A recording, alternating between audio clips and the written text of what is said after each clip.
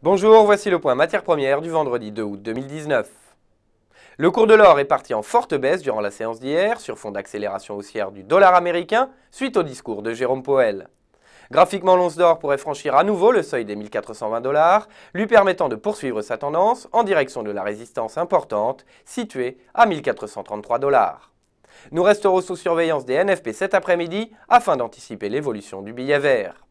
Retrouvez-nous dès 11h pour le Market Live et dès lundi pour d'autres analyses.